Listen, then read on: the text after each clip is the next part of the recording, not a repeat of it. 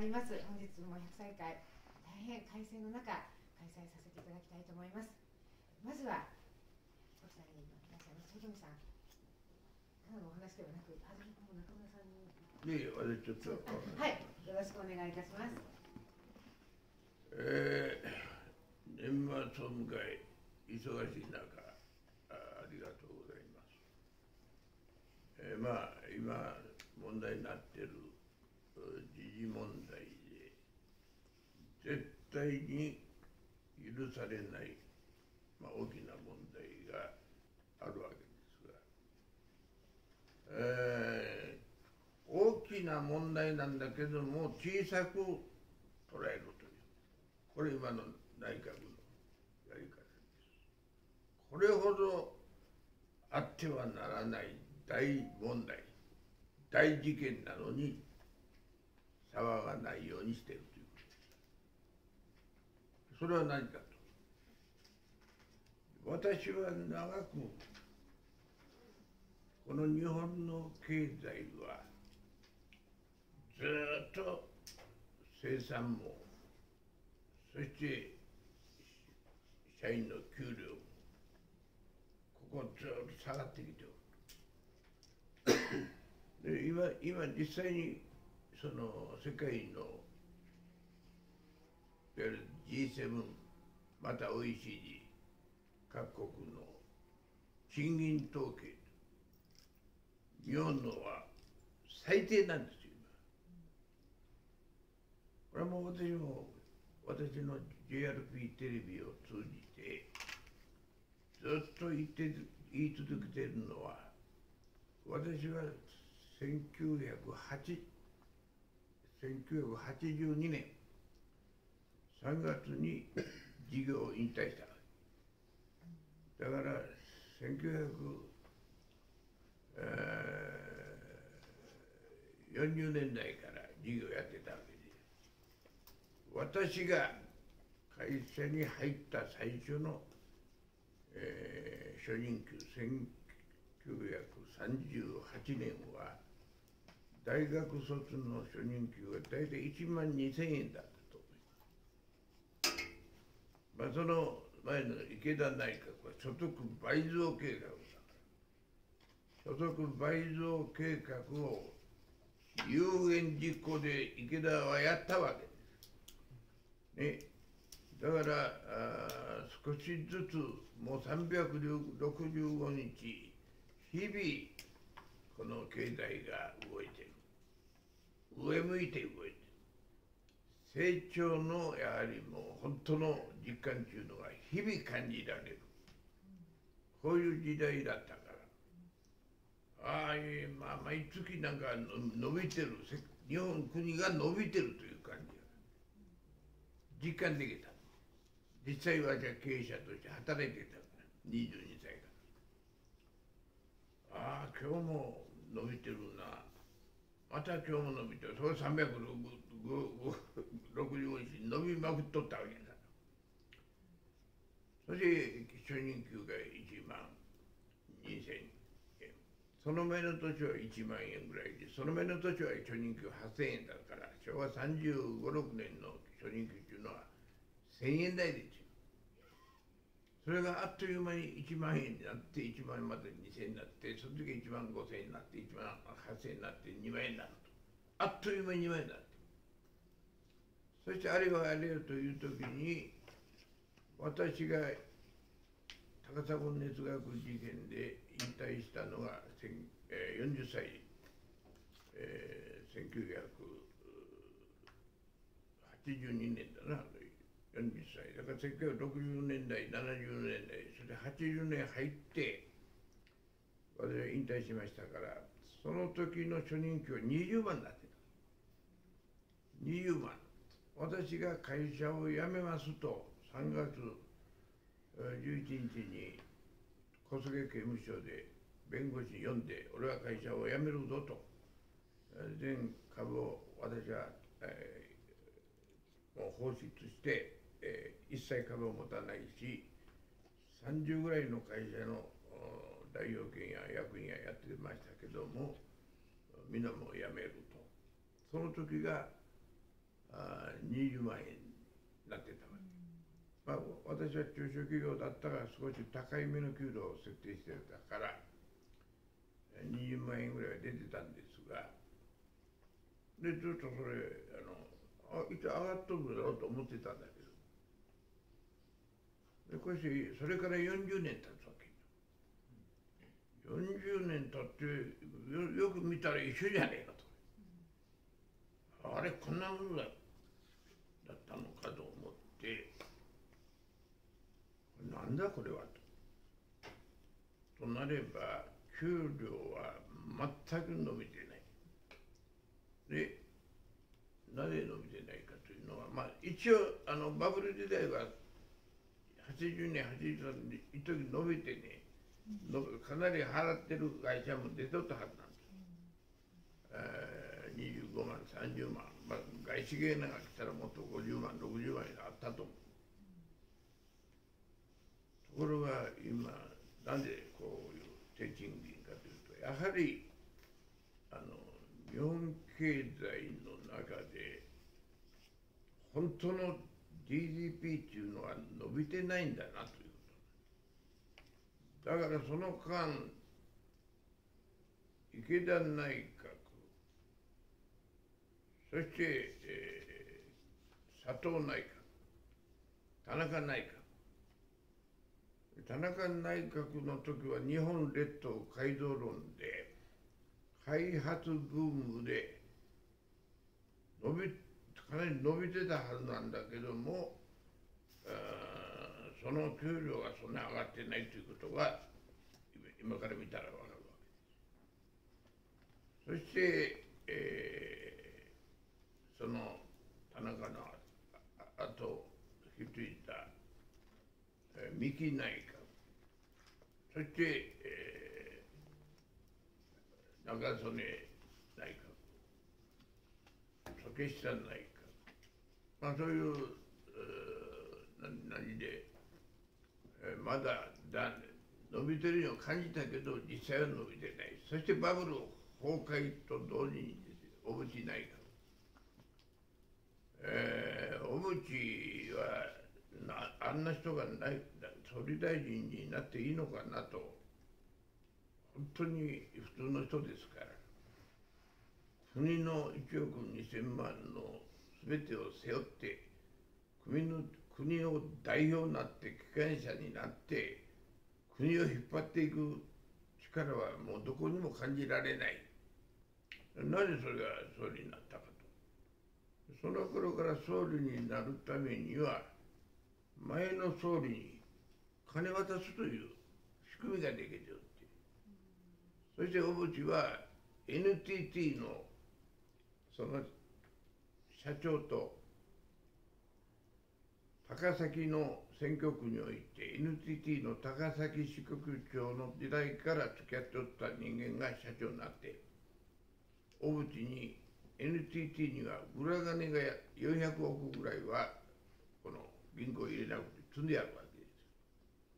そのうち40億を小渕に渡して小渕がそれを竹下に渡した。だから同じそしてその年から平成になったでしょう。ここで私はずっと言い続けてる失われた平成30年。全く経済は伸びてない、えー、なぜ伸びてなかったまあ小渕内閣バブル崩壊。そして、えーもう銀行は不良債権ででたらめ極まる土地担保で金を借りた。我々はそのわしら経験してる時は銀行から、まあ、金を借りるという。銀行は必ずその経営者の人柄とか能力とか実力を見てあこの経営者しっかりしてるんだで毎日経営者が毎晩酒を飲んでそして女を目が目がけにしてそして、えー、麻雀を毎晩やってる。昼は競馬とか競輪とかボートレースに行く。博打が好きだ。これなかなか金貸さないですよ。銀行は人を見て金貸すんだ。宣伝も人を見て金貸し。その中身の技術はどうどうなんだと、ね、経営の実態の隅々をよく調べて調査してよし貸せと。担保はあろうなかろうがその中身が経営者として金を貸して必ず返してくれる人柄なのか。こういうほどのあの実態を見極める。それがバブルになってからは特にプラザ合意以後の5年間は何でもいいから貸せと。金は余りまくってんだ。だから土地さえ持ってくれば株券さえ持ってくれば社長がバカでもちょんでもでたらめでも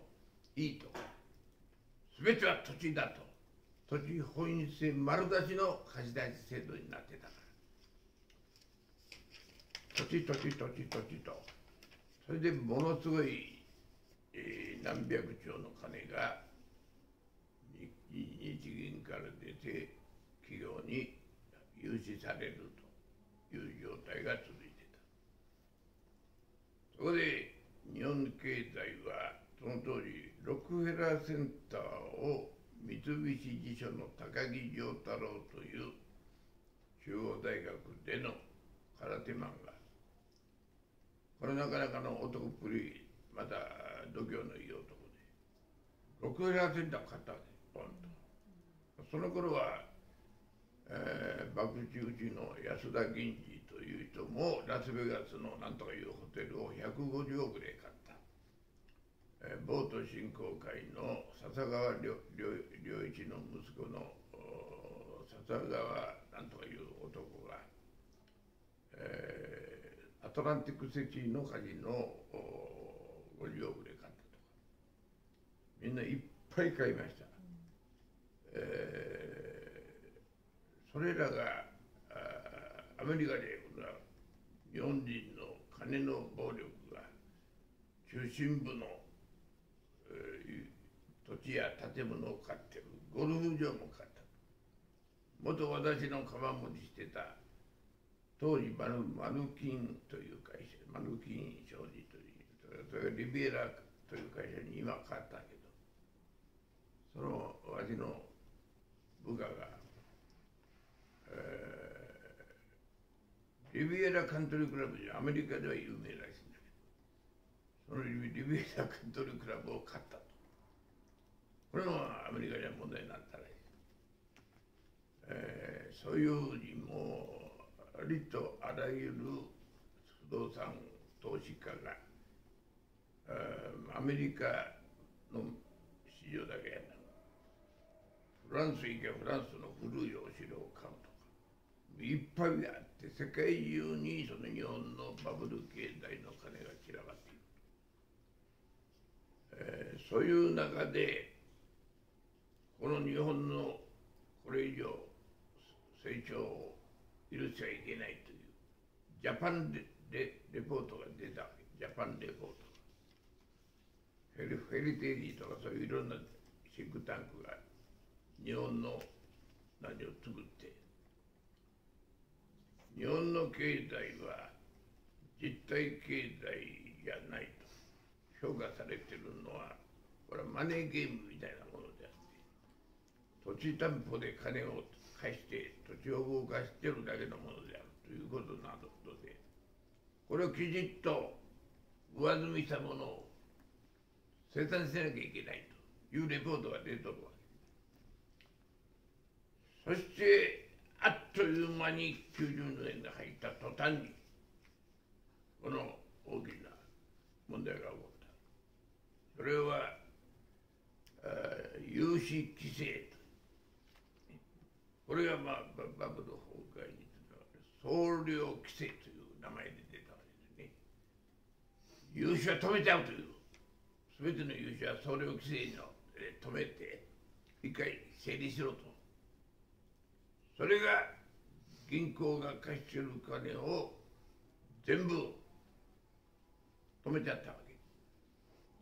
だからものすごい勢いでプラダゴイをビャーッと走ってた。猛スピードで高速道路を走ってる車のブレーキをずっと落としてとと停車するんじゃなくパーンとサイドブレーキいきなり150ぐらいのスピードでサイドブレーキ引いたらどうなるか。これひっくり返ります。それをやったんですよ。それは総量規制。それをやらさやらやらされたのが宮沢内閣そして橋本龍太郎大蔵大臣。三重の日銀総裁のこのババカさんばからすがするやらされた。彼らの意思でやったねやれって言われた。だから日本のまだ完成されてない中途半端な車で、ええらい勢いがつけついてついて猛スピードで走っとるわけそれをバーンとサイド引いたためにガラーンとひっくり返ったのが不良債権問題。そしてそれは何をスタートにしたか。これは日本の大蔵省を解体するということの始まりでもある。そこから宮殿後に大蔵省を解体するために最後にいたのはノーパンしゃぶしゃぶ事件です。ノーパンしゃぶしゃぶ事件でよくノーパンしゃぶしゃぶが流行っとったら歌舞伎町とかね。そこでまあ大蔵省の局長クラスで重要な位置のやつがみんなそこ行ってた。みんな行くでしょそら。男だから。行っとったんだよそれをバーン新聞に載せてノーパンしゃぶしゃぶに大蔵省の官僚あれ9人かな。一堂に会してとか今それも全部もうはめられたようなもんだと僕は思う。優秀なやつばかりだから。全部に日本の国を支えてきた優秀官僚がノーパンでパーン飛んだわけですよ。調べられたんだからなんでノーパンで調べられるんだね。だそういう作為的に人事を日本の政府と関係ないところから指示されてノーパンへ行くように誘い込まれてそれで行った途端に写真撮られて公表されて首が飛ぶ。こんなものは普通はないですよ、ね。まあ、そういう闇の人事というのはいっぱいあります。IMF の専務理事の何とかいう人がスウェーデンのストックホルムのホテルの、まあ、掃除に来る人のお姉さんかおばちゃんかわからん。パーンと「おい頑張れよ今日も」って言ってお尻を叩いただけで専務理事がセクハラと。ね。パーンクビになったよそれそれを CNN で電車が流れるんだから誰でもやってることですよこれは。頑張りようと。たまたま肩を叩けばもうねらんでお尻を叩い。て電車がそれに流れる。田中角栄が都内へ行っていわゆる都や外交でアジア諸国を回りだったらバーン卵をぶつけられる。一人の学生がニットもらって卵をぶつけるで3人4人がここにおったら東南アジアは半日感を高まると言ってそれが電車に流れる皆そういうのお尻触ったパッと流れる、えまあ、そういうのはのばしゃぶしゃぶに共通する一つのあれ今もその方がいっぱいありますそんなだからそのセムリーは首。え。んだけ世界を騒がして事件を起こしたお前首首でそれで次ラガルドさんが専務理事になって今 ECB の総裁になってる、まあ、そういう人事は誰がやってるのかとね、それはアメリカの大統領がやってるわけじゃないでしょう。英国の首相がやってるわけでもないでしょう。中国の共産党政権がやるわけでもないだろ。誰だと言ったらわからないと言ってるよ。そそこがノバイシャムシャにも同じことだということ。だその結果何ができましたか。大蔵省は財務省と金融庁に2つ分けた。そして金融庁は金融庁として五味三次長官になった。この人はその第1回目の長官ですよ金融庁の辞めた後どこ行ったかとこれバブルを作って全部バブルを崩壊させて再再建整理機構を作りねそういうその国を再編成して日本の企業の株を全部買い取ったそのハゲタカファンド。西武とかスプリンスホテルとかそういうみんな株主になった。サーベラスの会長になったわけ。だからそういう意味みんなまあ私だけ見たらああやってるなと。全て仕掛け通りやるなと。これも日本に限らず G7 の国々はそういうものです。だから ECB の今のレガルトレガルトさんの前のドラギーという総裁は現在イタリアの総理大総プライミニスターになってる、ね、だから EU を誰が人事持ってるのか。IMF の人事は誰が持ってるのか。そして、えー、今の何？IBS の人事は誰が持ってるのか。そして今去年1月にスタートした CBDC の人事は誰が持ってる？また CBDC を作った計画は誰がしたの？まあこれはあのセントラルバンクデジタルカレンシーという全ての暗号通貨を世界で一極管理する団体が去年1月にできましたが誰が作ったんだ？ね、トランプ大統領でジョンソン英国の首相でもない。マクロンでもない。プーチンでもない。習近平でもない。まさか安倍が作るはずがない。誰だと。トランプじゃないと。トランプじゃないんです。あんなバカができるわけだから分からないということですそういう人事をねやった人は。まあ、私たちは分かってるけど。ずっとそれ見てるから。だからそれをこれ今ちょっとテレビ流れてるから。言うとまた必ずバンされるから。これ こういうテレビで放映したらバン6回されてんだから。バンを。誰とは言わないんです今は、うん、必ずそういう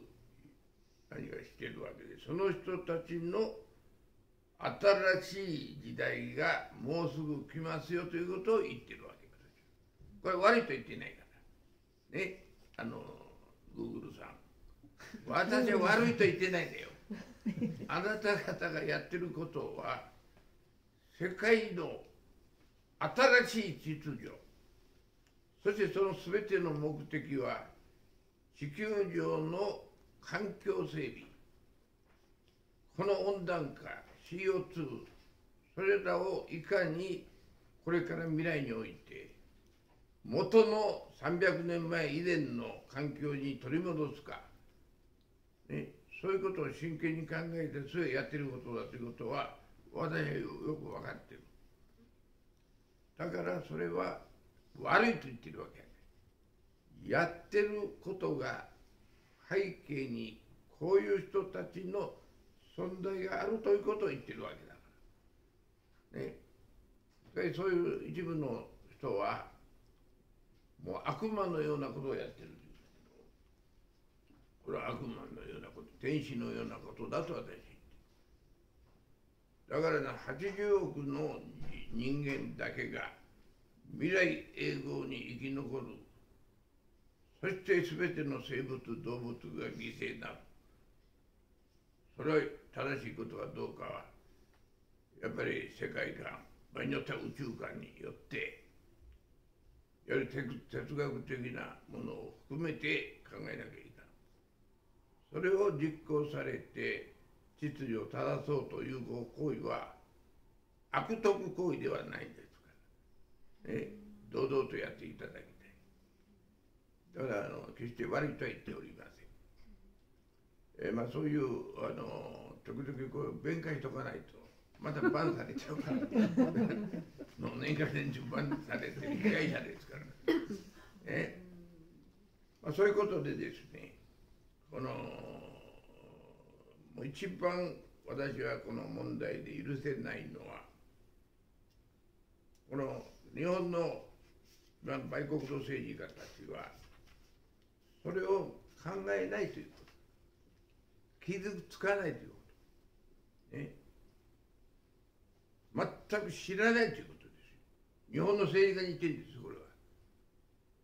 ね。いるの皆さんたち言ってるんじゃない。日本の政治家に言ってんだけど日銀が政府の銀行だと言ってるみんな思ってる。これが間違いだと政治やる以上はそれぐらいのことは知っておくべきじゃないか。と日銀は民間企業である。民間企業であってジャスダック市場に上場してる。ジャスダック。東証一部とか二部じゃなく。ジャスダックとかマザーズとかいうの。新しく90年以後に作ったジャスラック。ね、このジャスダックに上場してる。このジャスダックを作った元は私ですから。これは株式の投資をもっとあの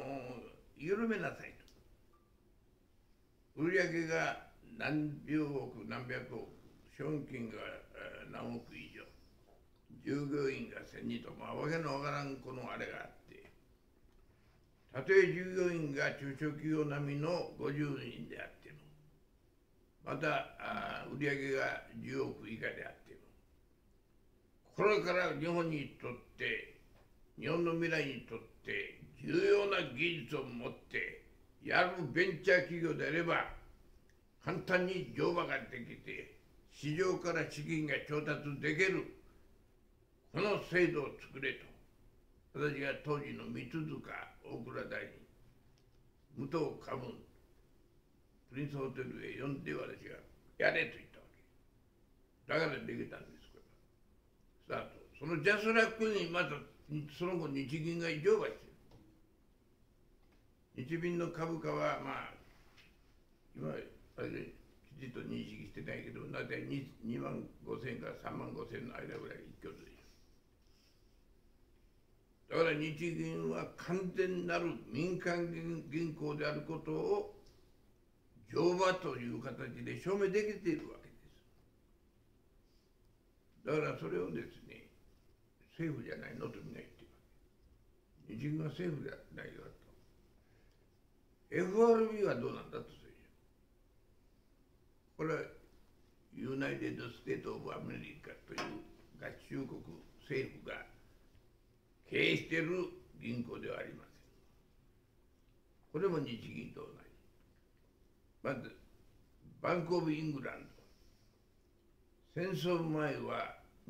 英国政府は株は持ってな持ってなかった。政府は持ってない。チャーチルの時に株は政府にはなりましたチャーチルの力でなったけども銀行の経営権にはタッチしないと入ってますから日本のあの日銀も国会で日銀をそれを質問したらいけないというあれが入ってるはず。えー、日本の銀行はあの日銀の場合は昭和17年に株を初めて50%日本政府になった。しかしそバンコブ・イングランドも同じように政府が口出しできない状態になっている、まあ、そういうこともあってですねやっぱりあの日本銀行というものが政府ではないというこの認識は政治やるものであれば、まあ、常識として持ってなきゃいけない。それ持ってないから今非常識なわけ、ね、でこういう非常識さも許されないけどもっとひどいのは今問題になってる私はずっと言って言い続けてくれた。給料も伸びてない。給料も下がってる。DDP も下がってる。ところ GDP ずっと上がってるんです実体経済は GDP は下がってると言ってる。それって何でか知らんけど GDP が上がってる。これが私が言い続けた問題なんです。GDP 上がってたら給料も上がるだろう GDP が下がってるのに給料給料下がってるのに給料下がって当たり前なんです。おかしいじゃないかと。なぜ上がってるんだと GDP は。これはいかさま GDP じゃないかと。確かに以前はカウントしなかったけどそあの小渕内閣以後カウントするようになったのは学費ですよ。今まで学費は GDP じゃなかった。ね。そしても最近寺の売り上げまで入れとるのじゃないか神社の再銭まで、まあ、そこはまだよく分かりません。しかし今国会でも問題になり始める。この数字の統計の改ざん。統計を一旦本当の統計を消す消っていかさま統計を書き込むという。これを今やってたわけで。特に建設業の売り上げを実質100億なものを200億にでも変えろ。これは全国的にやってるわけです。指示出してるわけですよ政府が。これはあまりにもむちゃくちゃなことでこれは絶対に許されない。これ堂々と私はこれは犯罪だと言ってるの犯罪。これを堂々と特に大きくなったのは安倍政権。何をやったんだ安倍政権は。安倍のミクス安倍のミクスで。ね。財政出動公共事業。えそして民間投資と民間活用ということを言って何にもできてない。声だけで。だからやめてみるは全く効果なしと私はずっと毎日言い続けた。それでまたバカどもは YouTube の方へこの番組を消してくれ消してくれって後で書いてそれを YouTube の東京支社はもう関東しないようにして誰も見ないようにどんどんどんどん工作するという、まあ、もうもうされちゃってるからこれはなんぼ言うてもね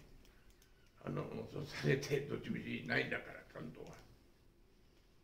あいいんだけどこれを僕は言い続けて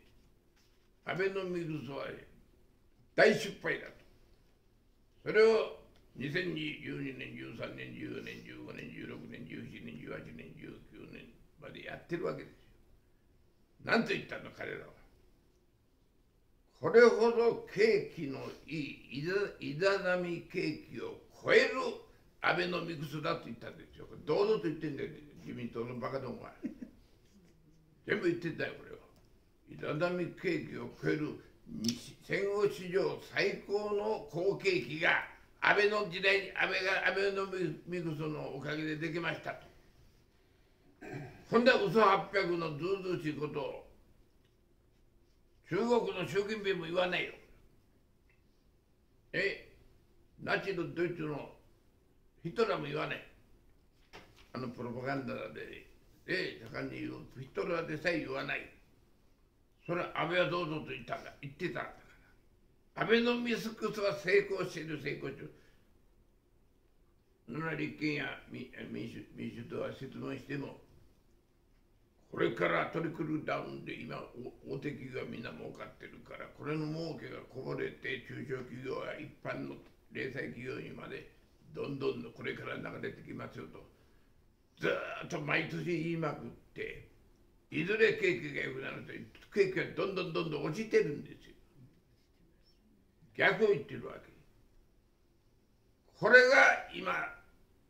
本当に国民が苦しい非正規社員の給料につながってるわけですよ。これは竹中と小泉がやった派遣社員に変えるという正規社員を。儲かったのはパソナだけ。国民全部が苦しんでいるこの非正規社員3800万人。これがアベノミクスなんです。それがバレたんですよ、今。はっきりともう斉藤国交省は国交大臣は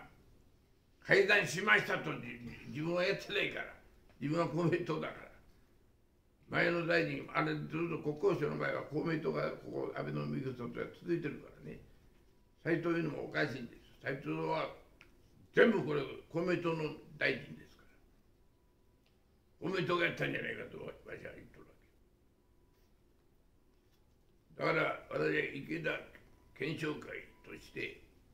公明党の責任はこれは免れることはできない。公明党の大臣がやってるんだそれはアベノミクスを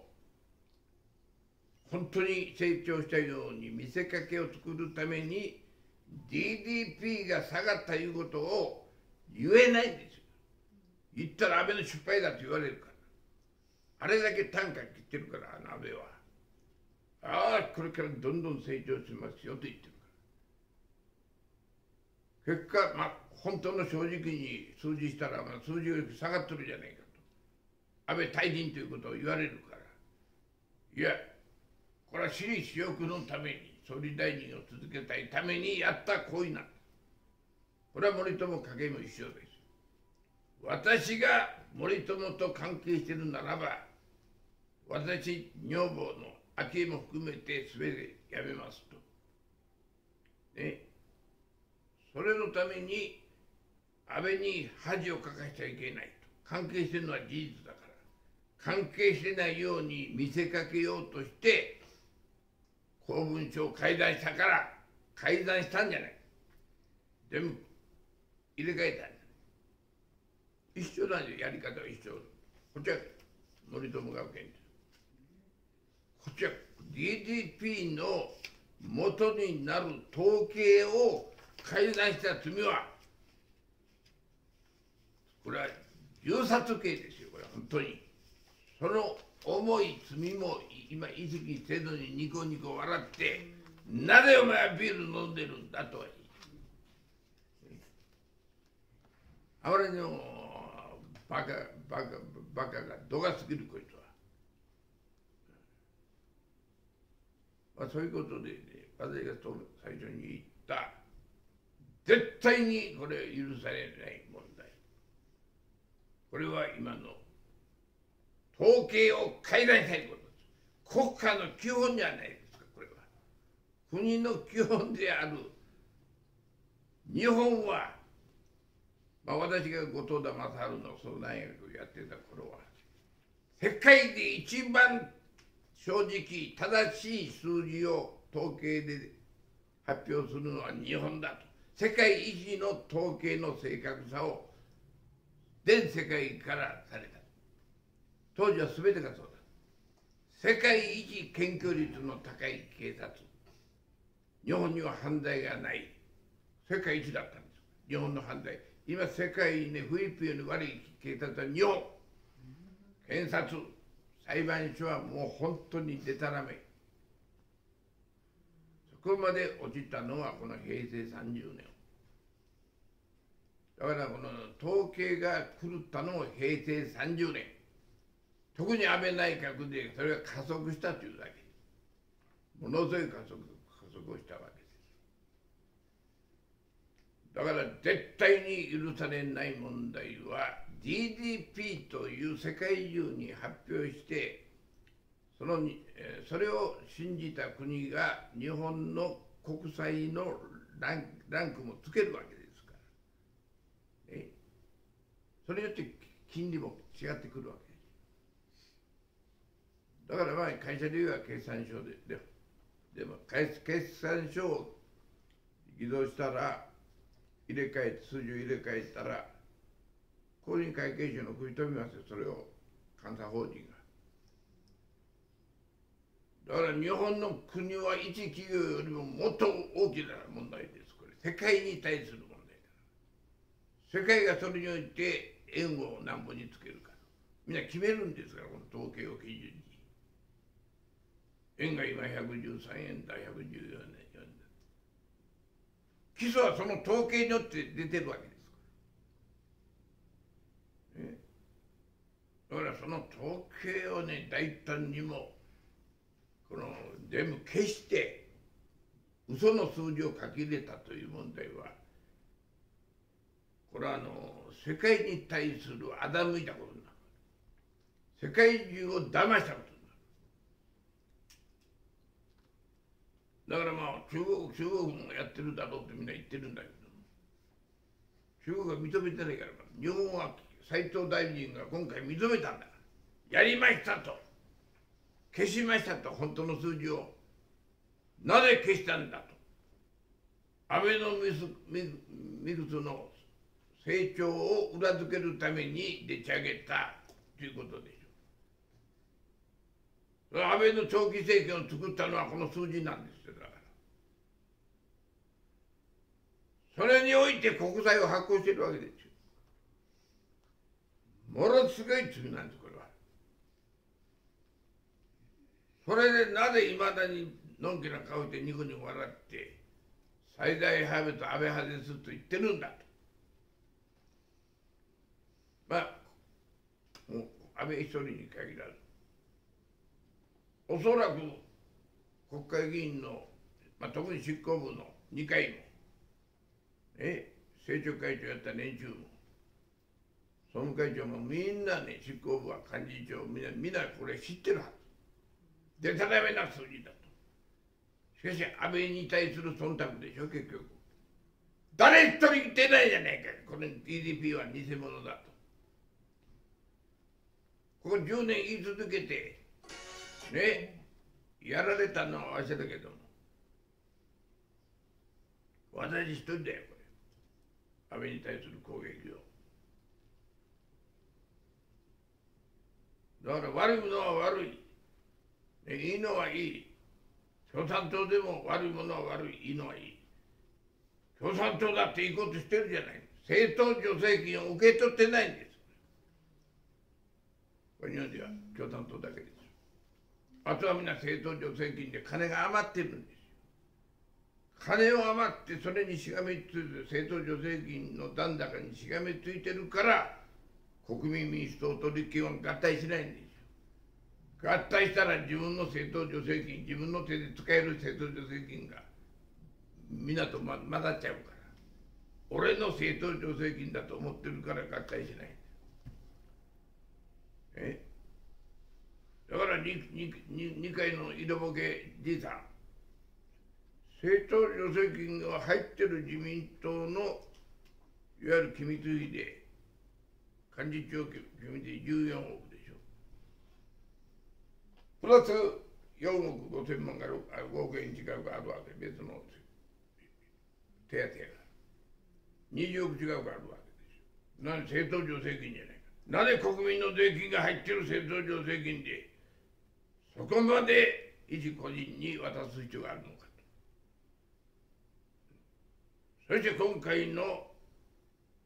いわゆる森友学園における公文書議動、えー、公文書会談。これの担当者が赤木さんが自殺した。奥さんが訴えた裁判に。なぜ審議せずに先金渡して口止めで両渡して終わらせたか。なぜ裁判しなかったいろんな問題がこれも言えばきりがないほどあるけども最後に言いたいのはそういう犯罪者税金泥棒をなぜ何回もその支持するバカ国民。ね？なぜ自分たちの税金がそういう税金泥棒によってどんどん盗まれていく。それらをまた何回も何回も同じ人間を投票で当選さすのか。このバカ有権者バカ国民がおるからだと。だから政治はやはり集合政治になっちゃう。バカ者の中の政治集合政治。有権者も悪い。えそこから選ばれた国民は皆犯罪者。こうなるわけです。まあ言えばきりがありませんから。私は何回も言うけれどもこの世界を支配する人たちは正しいことをやってます、ね、日本の政治家が売国道で走るんだ。これこれで世界の闇の政府は立派なものだと私は思います。はい、ありがとうございました。大変衝撃的であり、えー、いや今のお話がですね、えーと、皆様も聞いていて本当に怒り浸透したと思います。本当に日本のあの、まあ、私たちが選ぶ、あの有権者でありますので本当にあのこういった事実をですねしっかりとしい判断をしてしていただけるようにねあのこのここにいて、まあ、勉強して皆様はあの受け止めてそしてあの良い方向の力に向くようにですねみんなで発信少しでもできたらと思います。戸さんありがとうございました。それでは続きまして今日は宇宙についてのお話をこの後中村さんに。宇宙についての話を。すか。いや、うちよりも彼、志大学。そうでしたか。はい。はい。かしこまりました。それでは、あの。ぜひ、中村さん。からですね、あの、ご指名ということで。あの。あ、はい。お話をしていただければと思います。よろしくお願いいたします。どこ、どこで。どうぞ。あ、座って。はい、どうぞ。はい。あ、ちょっと僕のから、えっと。こちら中村ゆきさんで。えー、いろいろと相当いろんな悪いことになったんで改心なさった悪いこといやバレましたね、はいうん、であの市内を投げ打って神津大学というのを立ち上げましてで本当に最終的にはあの、えー、ちょうど大学先生の宇宙政治にまでつながったのがいくんですけどもでやっぱり今日今までの先ほどの先生のお話もあってかなりリンクしてると思いますので今あの日本がやばい状態でそこからなんとかそこで最近エクソドスっていう大なんですかね聖書にザ・エクソス出エジプトですねはい、まあ、そういった非常に熱い方でひょんなことからご縁がいただきまして今日あの、えー、皆さんの前にお話しした中村祐樹さん。はい。皆さんこんにちは。総裁はじめまして。中村と申します、はい、お願いします。えー、皆さんね、えーと、こういう場を、えーと、菊池さんとのご縁で与えていただきましたが、一体こいつは何者かということをですね、えー、と皆さん感じていらっしゃる方も、えー、いるかと思うんですけども、えー、私自身は今、えーと、指導者育成といったテーマで、えー、志大学という学校小さなスクールをですね今経営しております。で基本的にここはですね、えー、人づくりを通じて国づくりをテーマにやっているんですけども今、えーと総裁の話でもあったように非常にこの民衆のレベルが下がっている。私たちが、えーと、政治家を選ぶのは私たちの投票権です。でも私たちのこの投票権の質が下がっているからこそ政治家の質というものを、えーと、非常に下がっているなというふうに僕自身は、まあ、感じて民衆からまずは私たちは変わっていかなければならないと。でもこれからの時代をですね、えーと、担っていくのはいい意味でも悪い意味でも私たち若者なんですよね。自分は今年で26になるんですけども、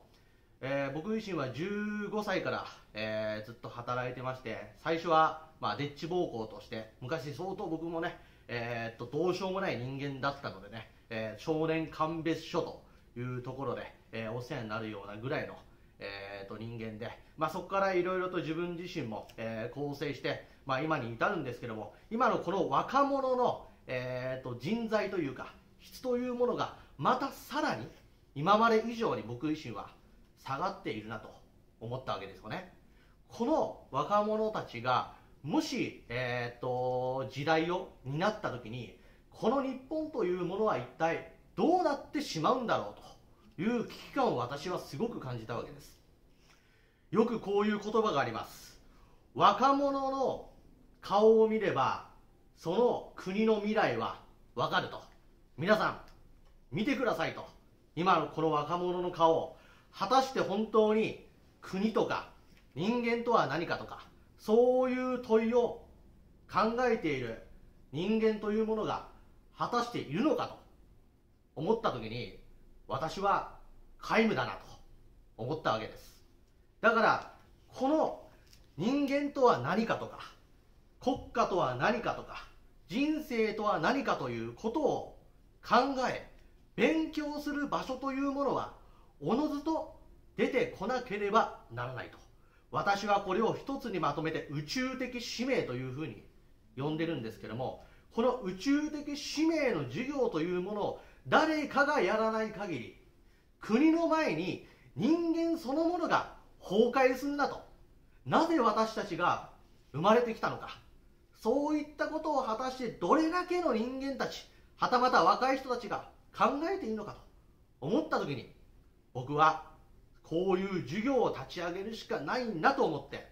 まあ自分自身もねえっ、とまあいろいろとその時ねえー、と捨てないといけないものもあったんですけど全て捨ててまあ志大学という今ね授業をやっているわけです。じゃあこれは簡単に言うとどういう授業かと。先ほども話したように国の未来は私たちの若者の質で決まりそしてこの若者が次の時代を担うリーダーになるわけです。ってことはリーダーの質が社会の質を決めると。指導者の質が社会の質を決めると。思った時に本当の意味で宇宙的使命人間的な使命を魂の中に心の中に持っている人間堅持している人間が指導者として立たなければならないと。そういうことをですね教育または実践フィールドワークいろいろな、えーと環境をですね、えー提供して、えー私自身は、まあ、ある意味学長としてですね、えーこういう授業をやっているわけです。なので皆さんもですね、えー、とこういう場で、ね、集まっているからにはやはり何かしらの思いがあり信念があり意志があって導かれてこの場にいらっしゃると思いますんでぜひとも私と共にですね、えー国を変えていくはたまた社会を変えていくそして時代を作っていくそういうことをですね、えー共にやっていただける方がいらっしゃるのであれば共に頑張っていきたいなと思います。まあ時間もですね、えーまあいきなり言われたのでまあ用意はしないんですけどもまあこんな感じで大丈夫でしょうかねすいませんあの長くなってしまって皆さんよろしくお願いしますありがとうございました。はい力強く、そしてあの本当にあの質問はないんですか？あそういいですよ。はい。そうですね。あのはい。40あの欧米諸国からね、はい。見れば日本は、ね、40年遅れてます。うんそうですね。医療の問題、うん。それから食事の問題とかね、本当にそれ言ってても私たち、うん。ね、庶民はうん。上に届かないんですようん。ね、そういうのをね志していただくっていうのは嬉しいです。う。ん。それであの私もあの海外でねいろんなところ行きまして、うん。私はアメリカに移民してる家族がいるもんですから、うん。100年前にね移民してサンディエゴなんですけど、なるほどなるほお家も向こうにありますので、うんうんうんそこでサンディエゴ大学ちょっと行ってましてね、はいはいはい。でそういうあの子供たちのうん話聞いてると、本当に日本人ね大丈夫かって思います。そうですね。それでね、うん。もうね顔からしてね、緊張がない。うんないですね。まあのね平和ボケ、平和ボケですね。うん、だからねそれをなんでね文部科学大臣とかね、そういうところがあるのに、うん。そういう人たちを、うん。その国会議員の人たちを育てる大学が欲しいですね。今私はですね、えー指導者といっても経営者であったりとか、うん。政治家はたまた社会のリーダーになっていく人間をある意味育てている学校。これはまあ歴史的に見ると,、えーと昔英国のですね、えー大英帝国といった、まあ、時代があったわけですよ。19世紀ビクトリア朝イングランドですね。じゃあなぜあの時に、えー、と大英帝国といって7つの海を支配できた国ができたのかというとこれたった一つですよ。教育が素晴らしかったんですよ。どういう教育を大英帝国がしてたかというとパブリックスクールという、ねえー、と教育システムがあったわけですよ。でこのパブリックスクールから出た人間たちが英国のジェントルマンその時2万人のジェントルマンという階層があったんですけどこの2万人のジェントルマンの階層の人たちが国の中枢のリーダーとなって国を引っ張ってたと。でその教育目的はどういう教育目的を、えーやってたかというとたった一つなんですよ。それは何かというと命をかけた哲学をたった一つ堅持することを教育の目的にしてたわけです。英国ジェントルマン教育と言います。命をかけたたった一つの哲学を堅持する。堅持し命をかければその哲学は自由なんだっていうことが英国自由主義だったわけです。でもその代わり条件があると。命をかけれねえならその哲学を意見は言うんじゃねえぞということを言われていたのがあの時の英国ジェントルマン。だからあの時はあの各自ジェントルマンと言われていた人たちが自分の中で命を懸けていた哲学を持っていたから自分の人生に誇りを持ち国に誇りを持ちそれだけのエネルギーを持って偉大な国を作ったわけです。だから私たちもこの英国マ英国ジェントルマン教育って言ってたった一つの命を懸けた哲学を堅持できる人間若者がこの国の指導者に立つ必要があるんだと。思って、まあ、そういう教育システムを今ねやってますんでぜひとも頑張らせていただきたいなと思いますはいありがとうございます。はい他にはえご質問でございますか？あの命って言葉すごい好きなんですけど、僕も、えー、とずっと、えー英検1級渡したことないんですけどとにかくプラス30で、えーフランス語中に中国語は英検準1級レベルで喋るんですけれども、そこでに数年前から言霊と英語は語学が結びつきまして、であの聖書で、えー、と初めに、えー命ありあすみません言っちゃいました。は 初めに言葉ありきってこと伝わってあれ嘘で、原本のギリシャ英語ではえっ、とですねエンアルケエンフォーロゴスで全ての万物はロゴスつまりロゴスって一部の訳だと、えー言葉なんです。もうん。言葉を通り越して意識とかって意味なんで、えー、全てはえー意識から生まれたということで言葉は、えーいの命ですね。あの初めに言葉ありきじゃなくて初めに命ありきなんであの命ってすごい大事ですね、で僕も英語そう結びついてただ今度神道に結びつきましてあの今神社ってあの日本全国には広がってるみんなご利益で自分がね自分あの金めいこしたいですけどあの神社にえこちょっとこれからあの仲間さんのお話に結びつくんですけどもこう銀のやつが置いてますけどもあれ八手の鏡のレプリカなんですけど、えー、三種の神にはあの、えー草薙の剣剣ですね。それから、えー、勾玉で、えー、八田の鏡なんですけどもこんな大きな八田って説明あるんですけども本当かどうかわかんない一説ではありますけどもわかんなければ自分が好きなように死にたいと思いますので裏にえっ、とですねあのヘブライ語で、えーエイエエシエルエイエって書いてましてこれはなんとですねあの中島あその中村さんの大学でエクソドスっていう大脱出っていう、そそこの、えーと、聖書の、えーと、第14 3章第14節の出世出世記ですか出エジプト記ですねあでその時に、えー、神様がモーゼに言った言葉なんですよね。AEACLA で、うん、我はありてありしもということで皆さん何もなくて生きてるんですけどよく考えたら自分の存在があってそれに気が付いた時って人間がすごい凄まじい力を出すっていうのがあってですね。そこであのここであの僕もエクソドスって言葉が中野さんに結びついてすごいんですけども、であのまあそのジェントルマン教育僕初めて知りましたんでそれはすごいと思いましたやっぱし自分の命に気が付いたからで、うん、えー、あの志大学では命をどう考えてどう伝えて何を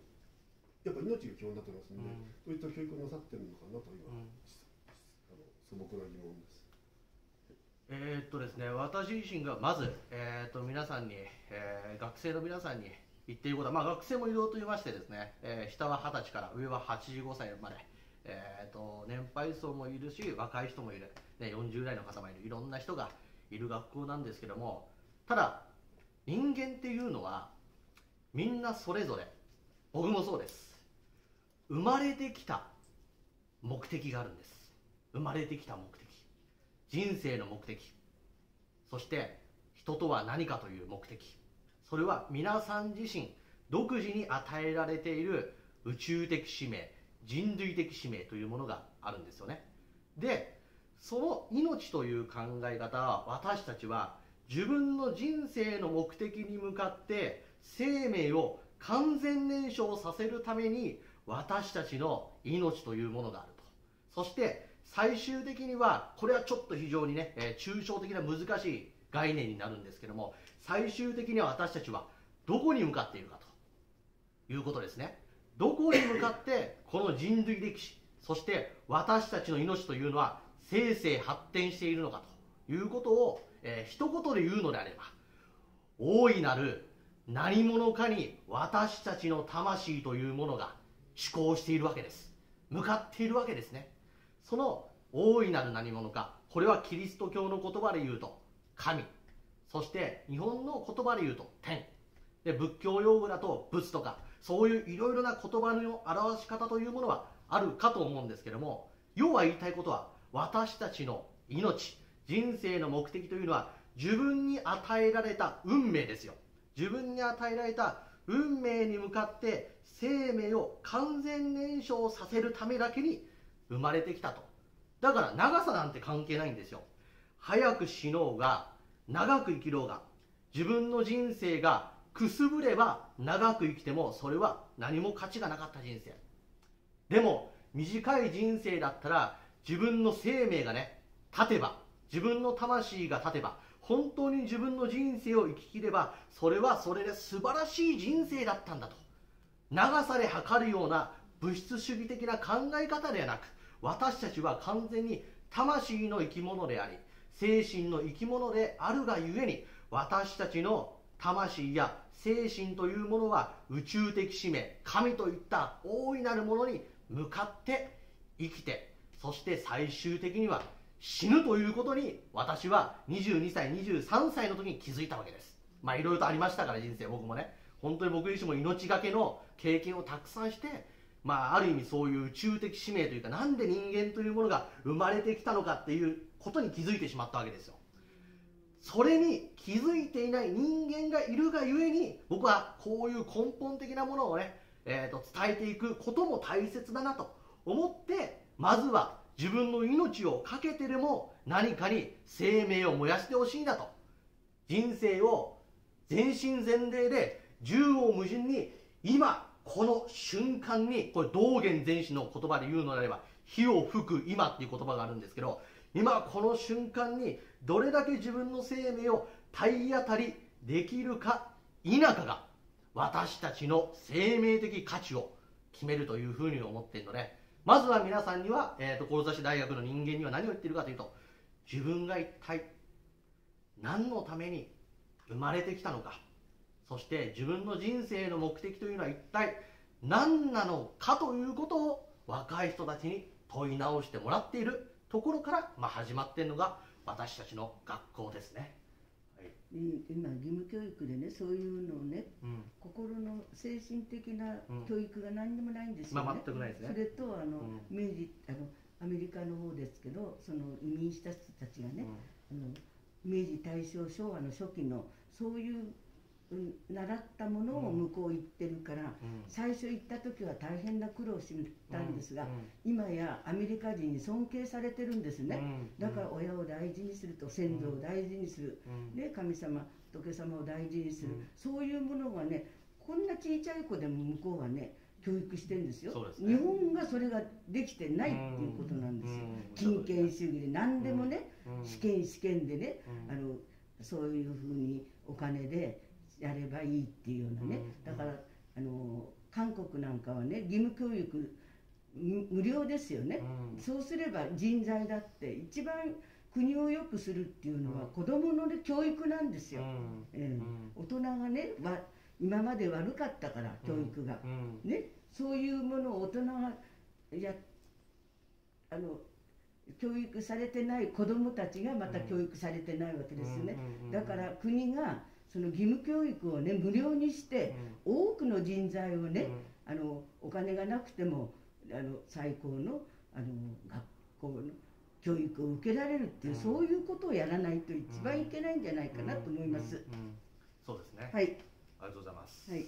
ということで、まあね、えっ、ー、と、まあ、明治維新っていう、まあ、時代があったと思うんですけど、じゃあなんであの時に、えっ、ー、と、偉大な人材がたくさん出てきたかというとあれもやっぱ寺小屋教育というもね江戸時代にあはい、ありましたからね。一応お寺ですから。あそうですか。祖父母が全部そういうあの恵まれない子たちとか、うん、売られていく子どもたちを雇って、うん。うん、あの引き取って教育してました、あそうですか、ええ。まあ、やっぱりねああの時も教育が良かったんですね。そうです。本当にね、はい、だからやっぱりそういうね教育というかねそういうところをまあ見直していくことがえっ、ー、とまあ門倉さんも菊池さんも多分ね、えー、時代を日本を変えていきたい社会を変えていきたいというね、えー、思いが多分ね同じくあると思うんですけどもやはりこういう根底の土台の部分からしっかりと私は変えていく必要がある。そしてまだ若者というのはね、えーと、ある意味まだピュアなところもあるのである意味今正しいことをですね、えーと教育するというか導いていくのが今がチャンスだと。時代の転換期でもありますんでっていうふうに僕は思ってこういう宇宙的な時代の転換期も考えて、まあ、こういう志大学というですね、ねそれ気がついたことで素晴らしいですね、ありがとうございます。やっと気がついたことが素晴らしいと思います。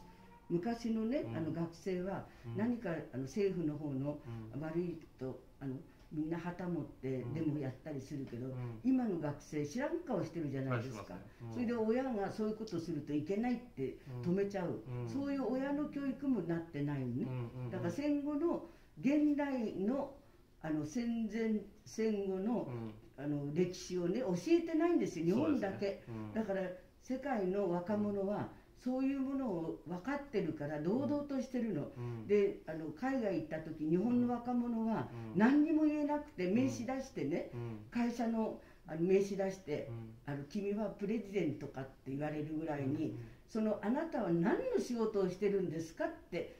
海外の人がね、あの聞いてるのに、この会社に勤めてます、うんそういうようなね本当に恥ずかしいと思います。えー何をあの国が悪いっていうのはやっぱり教育なんですよ、うんうん、それと若者もなどうして反対したりこうしてほしいってデモもできない、うん、だから総裁の時代の人たちっていうのは、もう本当にデモやったりね、うん、なんかなさったと思うんですね、はい、我々の時もあのデモやりました、はい、そうですね、はい。まあ、今のこの現代というのは、まあ、と言葉難しいかもしれないんですけどある意味この戦後の要はなんだこの現代社会のエリートを育てるためのある意味教育をしてるわけですよ。この現代社会である意味。それを超えていくようなものがないんですよね。でもこの現代社会というのはある意味昔で言われ言われればある意味低俗な、ね、低俗的なニュートラルな、まあ、三島由紀夫っていう北方も言ってると思うんですけど低俗なニュートラルな空っぽな人間的なエリートを育てるような教育わけです。そっちの方が国も政府も都合がいいわけですよ、ね、ロボット育てるそういうことです。だから人間のアトム化ですよ、そう。逆に明治維新のようなああいう、うん、なんかそういう強い人間がね出てきたら困るわけですよ、世界も国も。だから、なんかペなんか犬のワンちゃんみたいな人間をエリートみたいなだから現代社会で生きていくんだったらいいかもしれないですよ、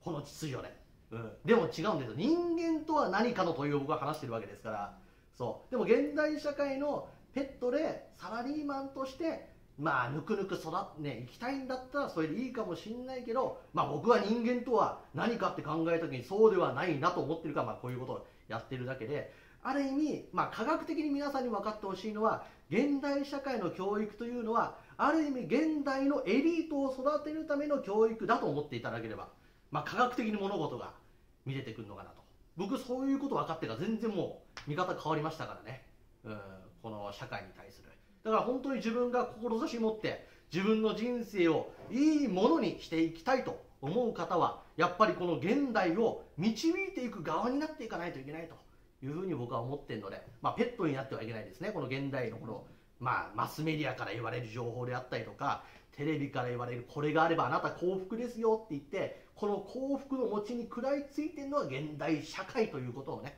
えー、っと僕は認識してまあこういうことやってるんでねまあそういう明治維新のねああいう偉大なある意味獅子と言われるような人間というものをね育てていくことがこの現代社会の、えーとまあ、処方箋になる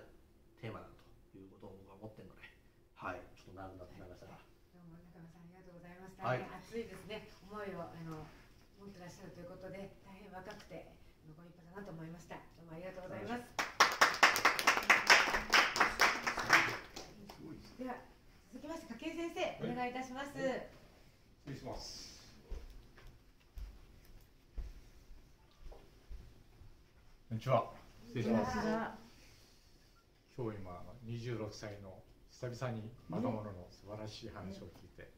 自分の26歳の時を思い出しました。私も26歳の時は今の教育ですけど、私が一番注目したのは幼児教育。3歳までで全て決まると。だからそれを全国の幼稚園保育園それからお母さんになる方に徹底的に話してきましたでそれがようやく今ねあのこういった若者が出てきていいなとあの時の自分の活力を思い出しましたで今日はですねその話とは別なんですけど全てはですね当たり前。ということがトラブルを起こすと。病気も全ての経済的な問題とか人間関係とか全て当たり前というところからトラブルは起こると。その反対は感謝ですね。この話をちょっとさせていただこうと。自分の実例をお話しながら話させていただきます。で実は昨日もその方とお話したんですけど今から6年前にもう肺も真っ白け。骨盤にもあちこちに転して手の施しがないって、まあ、がん患者の方今ちょうど60ぐらいですね女性です。その方がいろいろ調べて私のところにたどり着いてきたわけです。で妹に「お姉ちゃん最後に何が欲しいもんないの?」って言った時にその方は私のところに来たいということで来られました。でその時に私はいろんな指導をしましてまあ6年間生きてるということはこれで分かると思いますけど消えたわけですところが最近ですね昨日電話したっつうのは最近電話かかってまして「どうした?」って、えー、いつも気になってたんですそれはなぜかったら今までやってきたことがぷつり聞いたわけですから大丈夫だ大丈夫かなと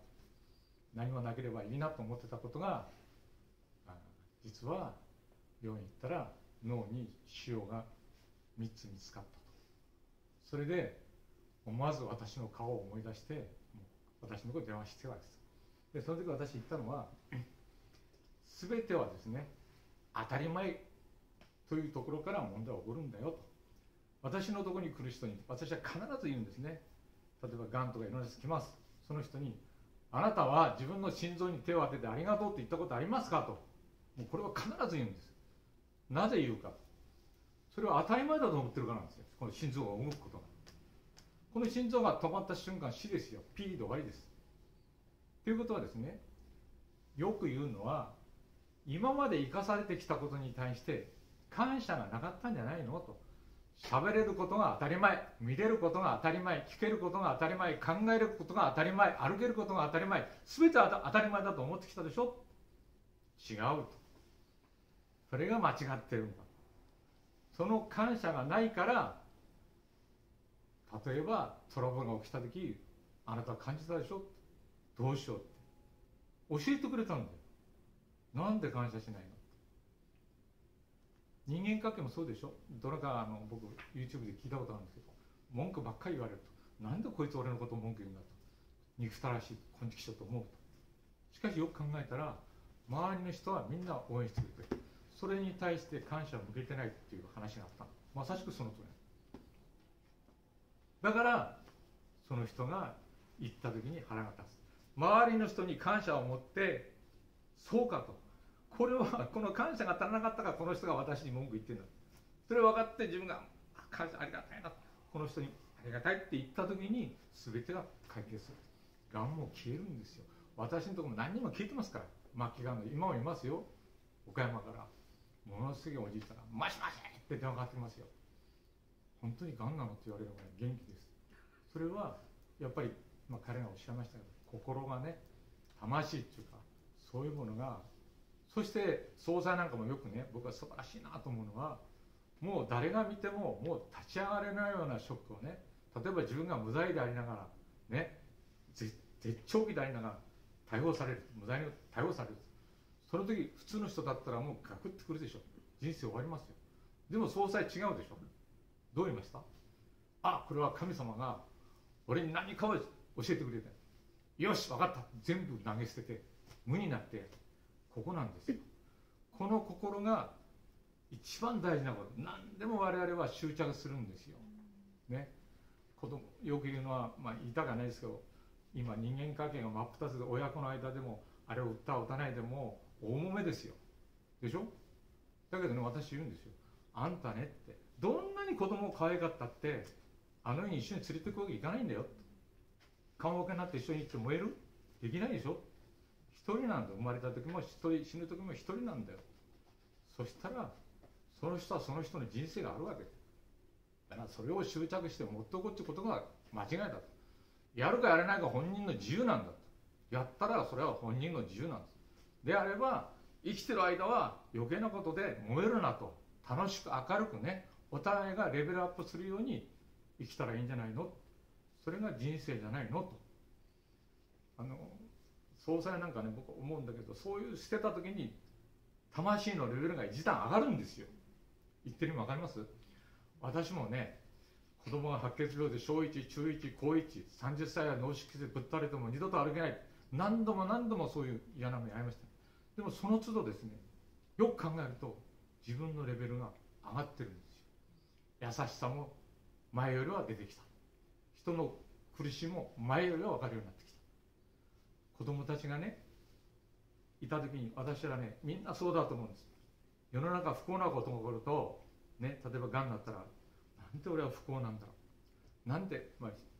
貧乏になった時なんでうちは貧乏なんだろう。こういうこと言うんですよね。でも感謝がないんですよ。例えばがんつったって今死ぬわけじゃないんですよ。目も見えるし話せるし聞けるしでしょ？食べれるし。だからなんでそれ感謝向けないの？悪いことばっかり考えるわけですよ。私もそうでした。勝ってね。なんて俺は不幸なんだ世の中には悪いやつはいっぱいいると。人殺しもいればね。人を騙すやつ見る。そういうやつの子供がなるんだったら分かる。なんで俺がこんな目に遭わなきゃいけない何度も何度も。何がしたんだ俺は一体。思ったでもねそれを変えてくれた時に僕はね何回も言いますけど同じ病棟に一人いたんですね。長野から来てるお母さんでした。泊まり込みでね家族離れてあの治療に当たってるお子さんのお母さんです。そのお母さんがね私にこう言ったんです「家計さんはいいわね」って言うんですよ「え俺の子死にかかってるの何がいいんだよ」って。冗談じゃねえよと思ったの。でもその時こう言ったんです。私なんかね治療方法がないのうちの子って。毎日お医者さんがねお母さん今日はこういうことやろうと思うんだけどどうでしょうかね。ど素人の私に向かって言うのよ。その時私ねハンマーをガーンって殴られたのにショックを受けたんです。そうかと。俺は自分のことばっかり考えてた。でも俺よりもっと不幸な人がここにいた目の前にいたじゃないかと。まだうちの子はね初回の時は30%の生還率があります。3割バッターっていうのはなかなか取れないんだから、まあ俺のとこはまだ幸せだでも彼のとこは治療方法がないと。その時に今の話なんですよ。自分のことしか考えてなかった。自分が一番不幸だと思った。しかし目の前にもっと不幸な人がいる。と自分はどう思ったと。俺は幸せだなと思ったんですよ。でその時からですよ。変わったの。自分の子しか考えてなかったのが周りの子6人7人いる子が全部愛おしくなったの。自分の子のように抱きしめたしもう亡くなった子いっぱいいますよ。それはなぜそういうことができたか。悟らせてくれたんですよ。だから要するに何が言いたいかって言ったらみんなこういう生きてること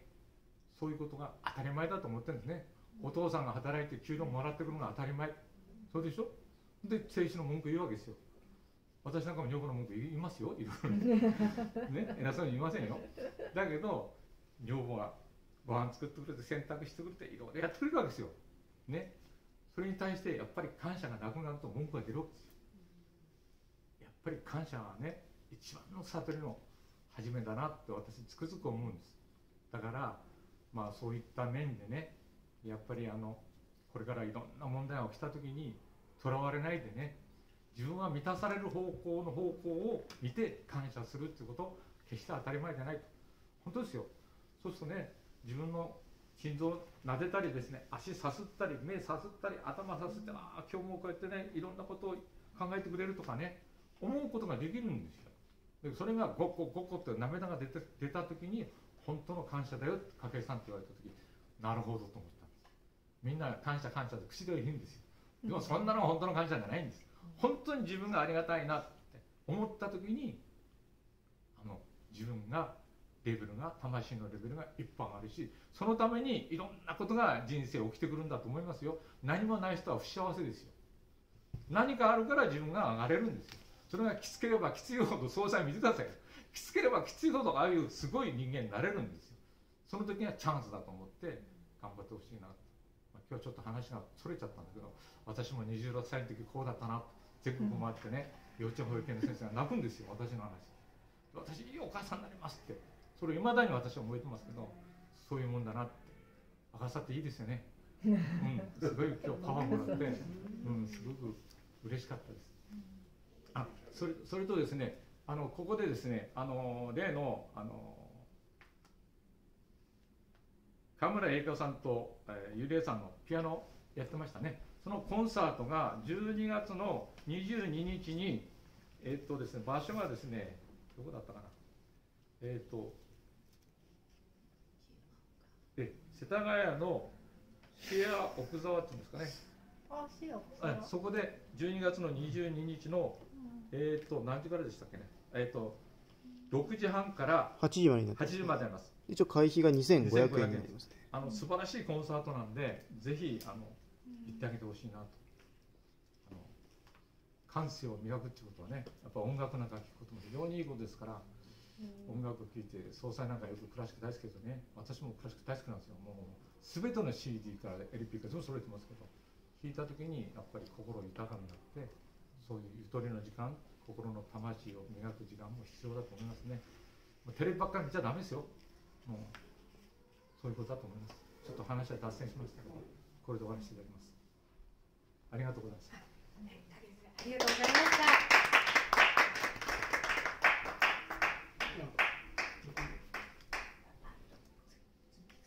あ、じゃ菊池はい、はい、続きまして菊池さん、お願いいたします。あ、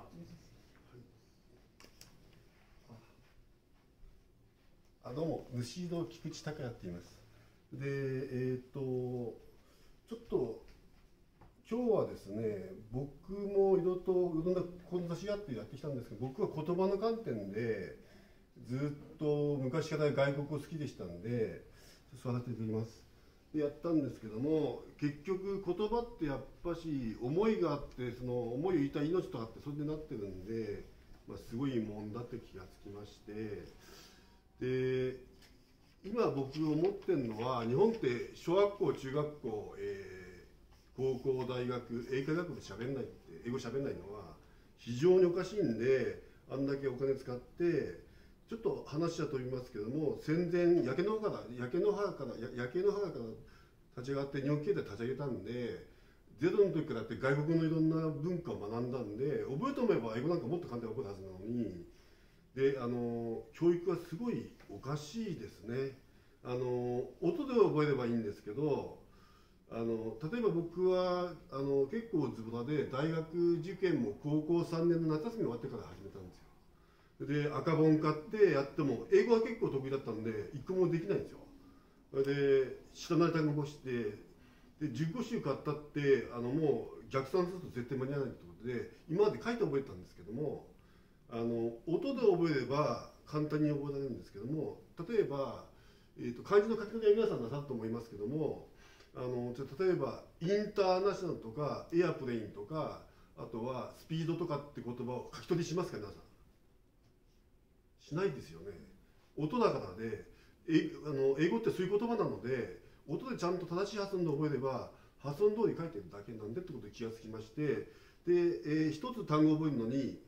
まあ書いて50回書くと数分かかるんですけどもそれを口で音で正しい発音で覚えればもう50回の1分ぐらいなんでもうスピードが10倍速くなったんででなんとか受かったんですけどもそれが一番まず大切なことなんですよね。そういったことを学校教育をしなく書いての中心とですねあと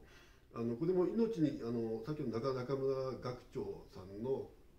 通じのなんですけどもあのグローバルスタンダードってあの嘘でなくてですねであのえっ、とです言葉で一番大事なのが日本の英会学校でよくないのが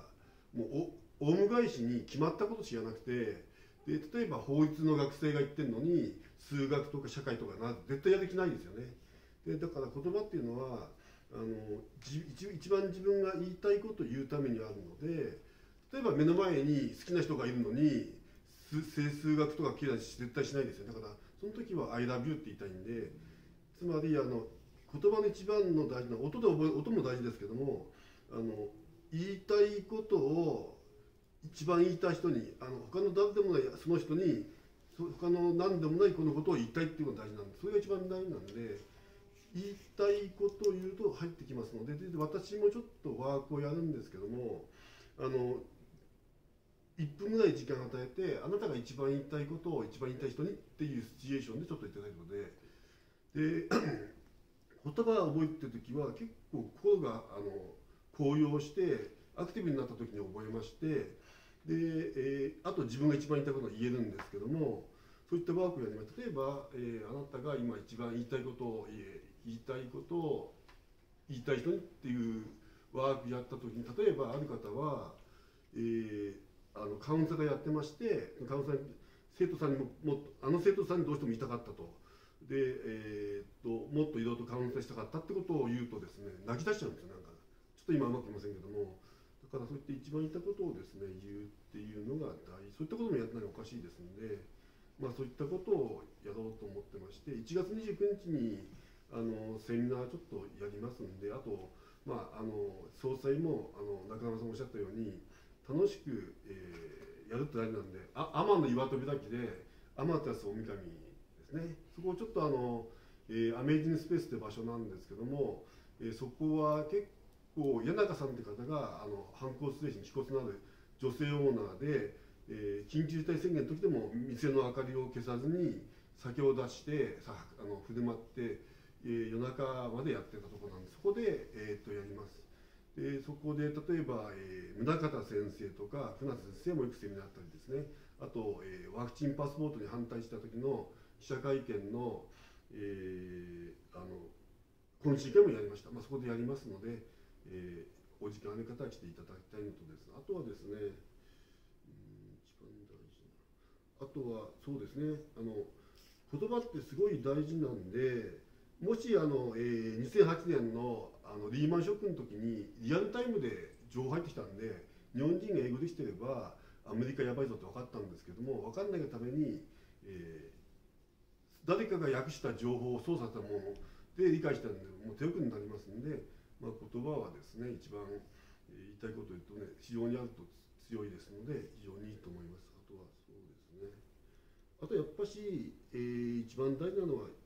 一番大切なことを一番言いたいことを一番言いたい人に言ってるんでそうですね。ではあの、えー、僕も靖国時々参拝行くんですけども、えー、あそこに、えーと、いろんな、えー、日本のために、えー、命をある方はやっぱしなんかあれは軍国主義で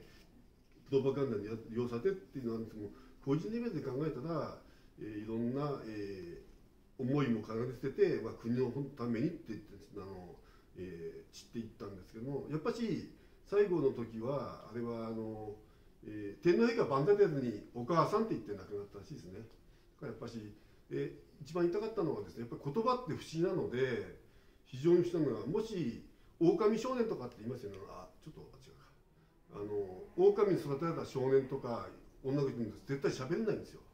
であの人間が言葉喋るのはお母さんがちゃんと教えてくれ教えてくれた方でお母さんがいないと喋、えー、れないのが言葉なのでやっぱし言葉っていうのはあの、うん、自然的にできたもんでやっぱあの先ほど中川さんのように何かの意思があって、え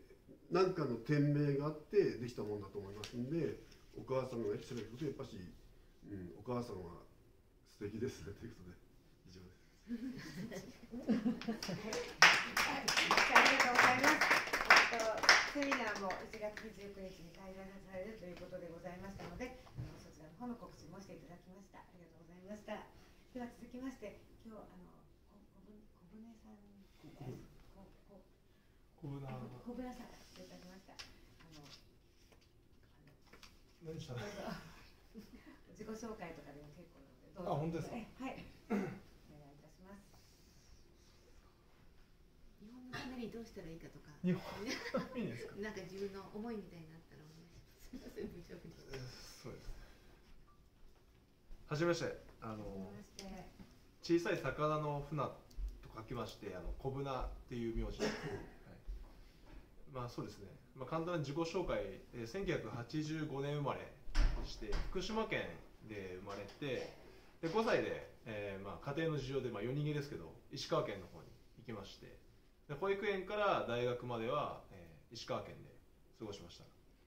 で、まあ、小学校は大学まで野球を、えー、やりまして、えー、高校はその石川県の、まあ、一応有名な星稜高校っていうところで、まあ、OB だとあの松井秀喜さんとかサッカーだと本田圭佑が一つ下の後輩ですけども、えーまあ、部活動あとは一応進学校ではあるんですけど、まあ、そういう高校で野球やって大学もそのまま同じ星稜大学っていうところで野球をやりました。で社会人になるタイミングで上京してきました。で今そうですね、まあ、日本を良くするっていうテーマでお話しすると今やってる仕事がですね、えー、まあ実質4社目の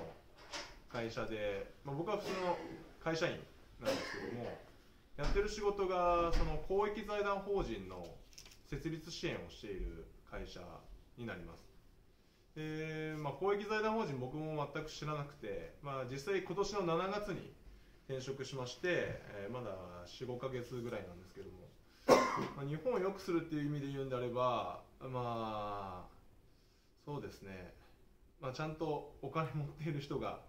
公益財団を作ってでかつまあその教育とかっていうキーワードありましたけど、えーまあ、財団の中ではもう奨学金財団だったりとかまあ、そういったものを名目で作るケースもありますしあとまあ社会環境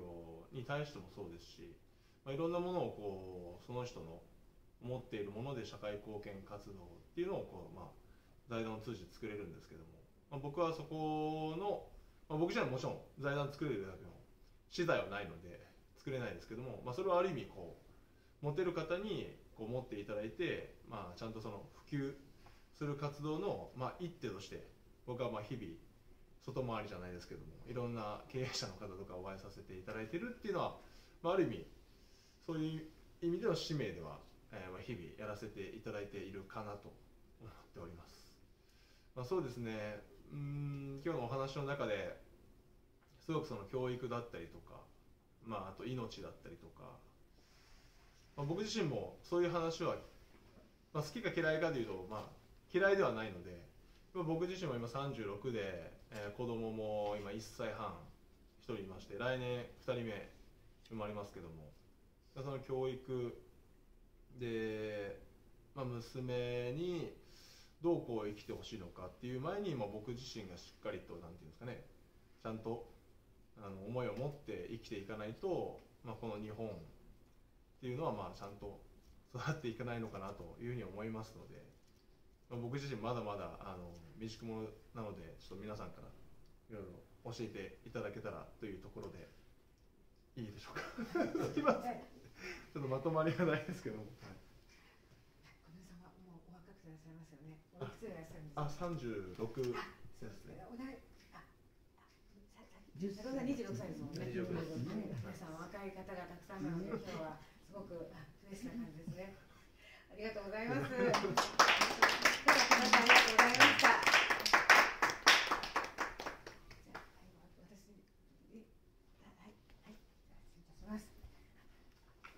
皆様こんにちは。あのいつも百歳会では司会でお世話になっております。あの私はあの個人まあ個人的なあの女塾というのを立ち上げさせていただいておりまして、女性のコミュニティということで、あの女性の生き方であったりとか、自分で自分の道を切り開くそういった強い意志の持った強い意志の持ったというかですね、そういうあの前向きな女性が集まったコミュニティ作りというのをやらせていただいております。の私のその作っているコミュニティは営利目的ではないのであの特に会費等そういったものはいただいてないんですけれどもそのこういった活動をしてますっていうことを皆様に知っていただくために月に1回第4土曜日第4日曜日にセミナーをやらせていただきながらあのご紹介をいただいたりしながらですねあの今だんだんと広がってきて立ち上げしまして今6ヶ月半くらいになりますけれども今140名くらいになりました。まだまだあの人数の方はもっともっといいいい形で広げていきたいなというふうに思っております。直近の活動をご報告させていただきます。12月6日にあの赤坂にあります社会石の辻留めというところで、まあ、本当にうちわなんですけれども忘年会を13名でやらせていただきました。こちらはあの奥様のお計らいがございまして辻留のおかみさんをご紹介いただきまして辻留のおかみさんも同じくの熟成になっていただいたのいただいたということもございまして普段ですと大変高級なあのお店を非常にあの勉強していただいてあのお友達価格みたいな形であの会食会食をさせていただきました。で、えーと、直近では12月18日昨日になりますけれども同じくは基本的に女性だけのあのセミナーという形になっているんですけれども不定期で同じくの属性であれば男性もご参加していただいただけるというような企画も不定期でやっております。昨日はクリスマスパーティーという形であの支部長浅草支部長のお宅のパーティールームをお借りいたしまして約25名男性はそのうち、えー、と6名ご参加いただきまして特に昨日はあの割と若くてあのイケメンの方もいらっしゃったので あの結構年齢層が高い方が多かったので本当に喜んでいただいて今日はすごくかっこいい人がいて嬉しいわなんて言ってすごい盛り上がりました。あのえーと、そ本当にあのパーティー自体はですねあの、ま、オーソドックスなゲームなんですけれども100円ゲー、えーと、とまずは全員に当たるビンゴ大会をやりましてで100円ゲームをやって最後勝ち抜きのところでですね、えーと、またさらに1000円追加してあの敗者復活戦をやったりとかっていう形で盛り上がったりとかあとはプレゼント交換も小学校の時に音楽を流して、まあ、ジングルベルの音楽を流しながらやったんですけどもジングルベルジングルベルって音楽を回しながらストップしたところでプレゼントがストップっていうのをですねやややっておりましたところ結構年齢層が高いあのシニアの方もたくさんいらっしゃるのでどうしてもそのシニアの方のうさぎさんチームのところであのタイムリーにプレゼントがいただいて渋滞を起こしてしまってもうそこで同じところでいつも渋滞を起こしてしまうなんていうですねもう大変楽しいあの1時から昨日はですね結局19時ぐらいまで行いましたけれどももう本当にあの時間があっという間のあの過ぎるような、まあ、そういった会を開催させていただきました。来週はこちらの会場をお借りいたしましていつも100歳会でお世話になっております米山先生を講師に迎えまして写経ということであの心が洗われるようなそういったセミナーを開催する予定でございます。また1月の29日でございますけれども私もセミナーの予定がございまして今回はスキンケアということで同じく熟成のプロのあの方がいらっしゃってその方からですねアンチエイジングっていうことをテーマにお肌のお手入れであったりとかあとは女性としの中女性としてもこれから第2のセカンドステージを考える上で起業したいという方がもしいらっしゃったとしましたら、まあ、そういったですねお話もしていただける方実際にですね、まあ、今日私が着ているこのお洋服アマルフィっていうところのあのメーカーのものなんですけれどもこのアマルフィであの10店舗ほどあのこの西麻布とか麹町とかですねあと半蔵門とか麻布十番とか広尾とか、と銀座のメルサっていうところでなさってらっしゃる方も今回同じくの熟成になっていただきましてその方のあの社長ということで経営なさっておられる実業家の方実業家の方でいらっしゃいますけれどもその方からですね、まあ、いろんなその企業についてのお話もしていただけるような、まあ、そういったあの会を催していきたいと思いますので毎月いろいろなテーマでやっておりますのでどうぞあの YouTube でも同じく検索していただきましてあのご支援いただけたらと思います。ではどうぞ今後ともよろしくお願いいたしますありがとうございますはい、はい、では増田さんお願いいたしますえーと、増田翔太と申します。よろしくお願いします。僕はあの港区区議会議員に再来年立候補する予定でして、まあ、今、政治活動だったりとか、まあ、外宣活動とかをやらせていただいてます。で、僕もその18歳頃からその地元を出て、えーまあ、大阪の方に行ったんですけどでそこでまあいろいろま悩みだったりとかで、まあ、人間関係だったりとか、まあ、会社って何だろうとか、まあ、自分とは何だろうとか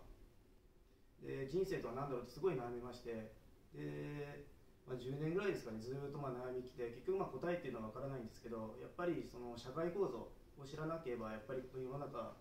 にやっぱ飲まれるというかうまく生きていけないというか、まあ、そういうことを考えるようになりましてで結局はやっぱりそのお金お金の本質すらがやっぱりおかしいと思うんですよね。お金。借金をしないとやっぱりお金が生まれないというか。でその本質はやっぱり言えないんですよね。政治家は絶対に。銀行のことも言えないしその通貨発行権のことすらも言えない。で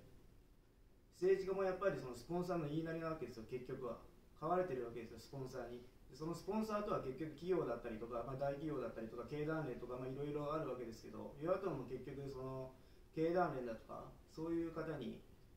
お金をもらって政策を、まあ、決めてるわけですよ。結局は政治家っていうのは法律をほとんど多分決めてないと思うんですよね。多分1割ぐらいしか多分決めてないんじゃないでしょうか政治家は。で結局はそういう一部の人が法律だったりとか憲法だったりとかいいように解釈して、まあ、人間としてのまあその道理みたいなものがほとんどないように思うんですよね。だからもう狂ってますよねこの世の中は。だからこんなもう悩むような世の中というか。で結局そのやっぱお金だったりとか物だったりとかそういうものに執着してる方が多いと思うんですよねやっぱり、まあ、唯物論とか、まあ、まあ無神論とか、まあ、神がいないとか、まあ、そうだと思いますし。そういうのはやっぱ一部の人がやっぱ作ってるわけですよ。そういうのを植え込んでるわけですよ私たちに。だからそういうやっぱりなんていうんですかねその本質というかそういうものは大切にしていきたいなと思いますけどやっぱなかなかそういう選挙活動にはそういうことは言えないので まああれですけど、まあ、これからちょっと頑張っていこうかなと思います。頑張ってください。松田さん、港区にお住まいでいらっしゃるので、港区からあの再来年、ですね、たくさんご支援の方がいるできるかもしれません。ということでですね、本当に増田さん若くていらっしゃって28歳というですね、素晴らしいあの志をもら持た持たれた方がいらっしゃるので、ぜひ皆様の YouTube のご視聴の方もぜひ増田さんをご支援くださいませ。どうもありがとうございました。それではですねちょうどお時間になりまして、えー、あの100歳会約2時間皆様と一緒に大変有意義のあるあの話をさせていただくことができました。ぜひこういった勉強会を通じましてあのお知り合いの方にも広げていただきたいと思いますし私私たち自身もですねしっかりと志を持ってあの素敵な生き方をしていけいきたいなというふうに思いました。どうもありがとうございました。